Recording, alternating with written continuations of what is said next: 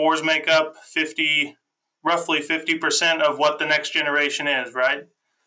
And so without the boar and it running at optimal levels, uh, we kind of have some problems there. And we want to keep the boar going and providing viable sperm that has good fertility. And uh, I think that starts with what we feed him.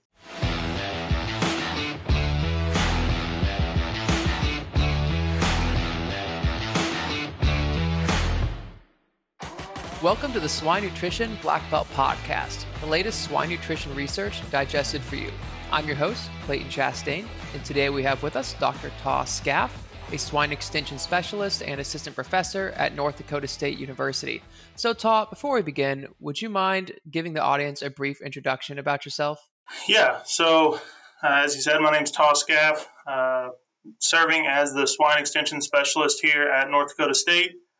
Uh, previous to this, I was a PhD student at Purdue University under Dr. Kara Stewart and Brian Richert. And prior to that, I did my bachelor's and master's at Oklahoma State, where I'm originally from. So, we talk a lot on this podcast about nursery pigs, finishing pigs, and sows, but I don't have many conversations about boar nutrition. And I understand from your PhD work that you did at Purdue that you did a lot of research regarding boars and boar nutrition. So, to start, why is boar nutrition so important?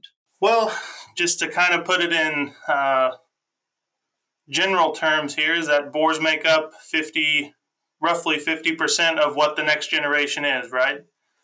And so without the boar and it running at optimal levels, uh, we kind of have some problems there. And we want to keep the boar going and providing viable sperm that has good fertility. And uh, I think that starts with what we feed him. Gotcha. So, like you said, when it comes to the boar, what we really care about is that sperm viability. Um, so, I guess my my next question then would be, when it comes to the nutrition of the boars, does it really matter what we feed them as long as we are hitting that benchmark of achieving the production of viable sperm, or is there really more to it when we look down into the nutrition? Well, I think if we are planning for the future, uh, you know, we have AI technologies that continue to develop and advance, and uh, we're looking at using less and less uh, billions of sperm per dose, especially if we're looking at PCAI or deep uterine AI. Uh, that's something we got to take into account. Is you know, if I do have a large quantity of sperm, I have a higher chance of getting conception, or that's the that's what's thought, right? Where if we go to those lower numbers, we are reducing that possibility of conception even further. So if we're not uh, providing that boar with adequate nutrition to provide to that semen and sperm so that it can uh, successfully make it to the ovary, uh, I think that's where we need to kind of reevaluate and look at that as, it, as we continue to decrease uh, the AI dose of sperm, how can we get that benchmark higher of what we're looking for with motility, and morphology, and all that? Gotcha. So when you're looking at it from a nutrition aspect, how would you say that nutrition impacts the typical characteristics of sperm, such as motility? Yeah, just uh, some of my research uh, that was done at Purdue. Uh, we fed boars some low diets, uh, what I would consider, or boars that were fed under uh, maintenance requirements, at maintenance, and above maintenance.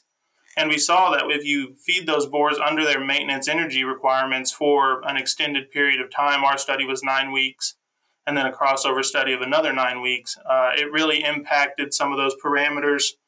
Uh, we saw volume decrease, and eventually some of those boars would even just stop collecting in general. And on the contrary, when they got too large, uh, we saw them kind of get lazy they didn't have a ton of libido. Uh, they didn't really want to get up and go to the collection dummy because there wasn't that what I would call that sense of reward after they collected uh, to then go back and be like, okay, now I'm hungry. They were, well, I'm full all the time. I can just sleep. I don't care about anything else. So you mentioned a few different technologies that are out there, such as PCAI, that are designed to reduce the amount of sperm that you use per dose. But what kind of technologies are out there when it comes to sperm and the boar? Yeah, so I'm not a exact expert in this, but I'll do my best to go through it. So PCAI, I know the normal semen dose is roughly about 3 billion sperm. And as we look at PCAI, that gets past the uh, block of the cervix. So PCI stands for post cervical artificial insemination. And that would just be another way to push that sperm further into that uterine body or horn so that past the cervix so that uh, you're not losing as much uh, in the cervix and all the folds and interdigitating pads that are there. Uh, and also with deep uterine AI, that goes a little bit further, again with uh, internal catheter. And really, what these are looking at is uh, reducing the number of sperm that is needed, but also maximizing that uh, boar's uh, collection, essentially. So, how can we get that sperm pass, but also get more out of these uh, high indexing boars that we have, more doses. Gotcha. And then also looking at some other different types of research, what all research is out there over the last few decades, specifically looking at the boar? Uh, so I know uh, Dr. Carl Kearns at Iowa State does some boar research. Uh, Dr. Stewart, uh, she's always very interested in doing boar research. Uh, as far as that, I know there's some other universities uh, I believe Dr. Knox at Illinois does some boar research. Uh, but other than that, uh, it's kind of aged out. Really, a lot of the boar research that has been done was conducted in the late 80s and early 90s uh, by a gentleman with the last name of Kemp. And he kind of set the standard of boar nutrition and looking at that and how it impacts semen. But that's, you know, it's 2025 looking at that. It's probably 30 to 40 years old. So, with our genetic advancement, how relevant is that to today, or can we use that as kind of a groundwork to move on with research? And last question I have for you is I know you just recently started here at NDSU, but when you look into your research side of things there, do you plan to do more boar research there, or what does your path really look like going forward at NDSU? Uh, yeah, so I do have a very, most of my appointment here is extension. Uh, however, I do have a research appointment, and looking at that, I am looking to get into more boar research, whether that's continuing some of the work uh, I did with my PhD with looking at energy levels, and if we can find that exact uh, kind of right energy level for that growing boar as it gets into its uh, mature size, I would say, and uh, also prior to that, as we're rearing these animals, uh, how can we set them up or are there some sort of parameters that we can look at prior to uh, them getting into collection that will give us some indicators of what a good uh, boar would be in the stud.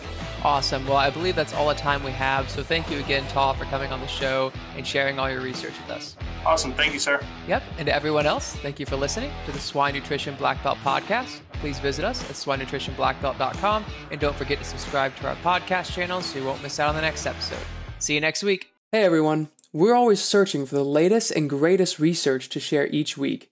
If you have a swine nutrition related research trial and would like to come on the show and share it with us, feel free to email the details about your research to hello at wisenetix.com.